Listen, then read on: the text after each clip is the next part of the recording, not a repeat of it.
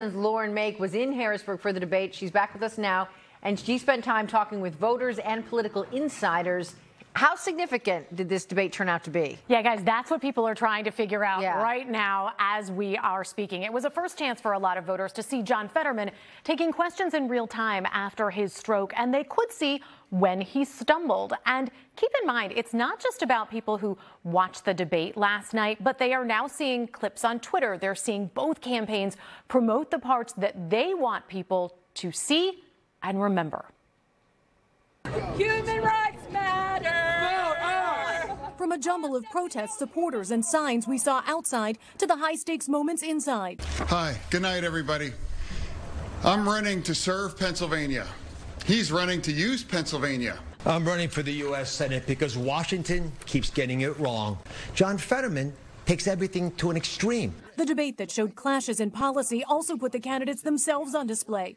Democrat John Fetterman using closed captioning as he recovers from a stroke, with lingering issues evident. It was difficult to watch because I watched uh, John Fetterman, you know, struggling uh, with uh, reacting to the hype, fast pace of the of the debate, and uh, also how facile Oz was on it. You know, it was no, no problem for him. Weaver Lilly's support for Fetterman, though, not shaken. But I hope that people will look at that and think that, yeah, I can identify with struggling. That's what Fetterman's team and Democrats are hoping too. this was always going to be an away game for John. Uh, he's going up against someone who's been on TV for 25, 20, 25 years. Uh, it's it's his home turf. Mustafa Rashid is a Democratic political consultant. He says Fetterman's campaign should release more medical records. Releasing additional medical records to reassure people um, uh, it should be something that they do. Republican consultant Chris Nicholas was at the debate. I find it difficult to believe that any undecided voters would be able to get past John Fetterman's impediment to actually determine whether the content of his answers uh, were appealing to them. But what about policy? Did you feel like they answered the questions?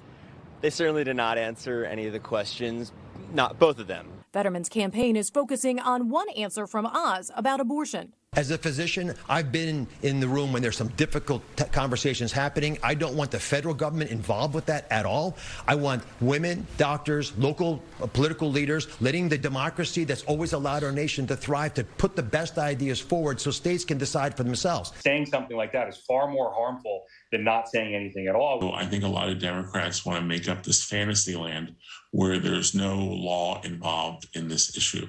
Uh, that's just not how it's ever worked. Uh, it's not how it's going to work.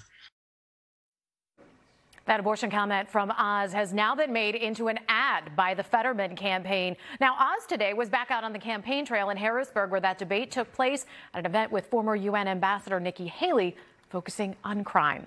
I'm Lauren Mayk, NBC 10 News. Lauren,